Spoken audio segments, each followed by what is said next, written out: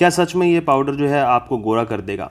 क्या ये सभी तरह के स्किन टोन्स पे कामयाब है? क्या हमें इसे यूज़ करना चाहिए या नहीं? और इसको क्या क्या आपको बेनिफिट मिलेंगे? क्या इसका कोई साइड इफ़ेक्ट तो नहीं है?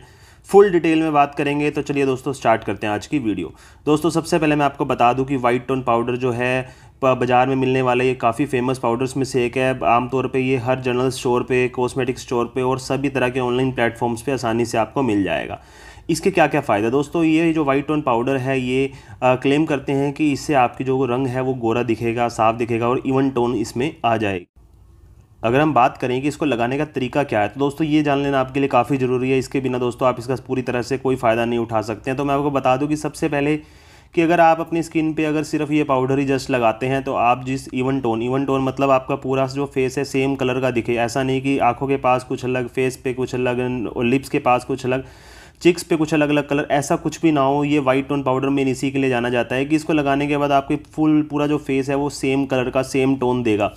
लेकिन उसके लिए आपको करना क्या है? दोस्तों, सबसे पहले आपने कोई मॉइस्चराइजिंग क्रीम लगानी है, कोई आप क्रीम लगा लें फेस पे, तभी उसके बाद दोस्तों आप इसको अप्लाई करें।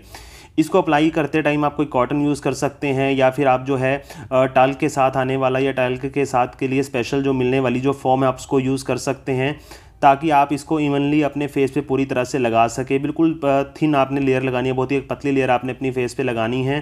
बिल्कुल हल्का हल्का लगाना है और पूरे फेस पे एक जैसा एक जितना ही लगाना है, जिससे आपके पूरे फेस पे एक इवन टोन आ जाएगी। और ये जो पाउडर है, बहुत अच्छा रिज़ल्ट देता है मॉइस्चराइज़र लगाने के बाद। तो उम्मीद करता हूँ दोस्तों, आप इस तरह से इसको इस्तेमाल करेंगे और इसका पूरा पूरा फ़ायदा उठा पाएँगे।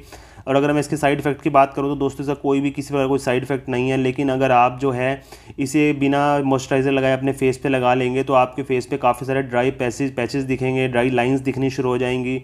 और जिसके बाद ये काफ़ी बुरा लगेगा, गंदा लगेगा। इसलिए पहले मॉइस्चराइज़र लगाएँ, उसके बाद अगर आप इस पाउडर लगाएँगे तो आप काफ़ी अच्छा रिज़ल्ट ले सकते हैं। मॉइस्चराइजिंग क्रीम के लिए आप वाइट टोन वालों की ही आप फेस क्रीम यूज़ कर सकते हैं, उसका भी काफ़ी अच्छा रिज़ल्ट है। उसका रिव्यू आपको मैं बहुत जल्दी आपके लेकर आने वाला हूँ। आप डिस्क्रिप्शन में उसका जाके लिंक मैं आपको दे दूँगा, वहाँ से आप जाके वो भी वीडियो देख सकते हैं। Thank you guys and bye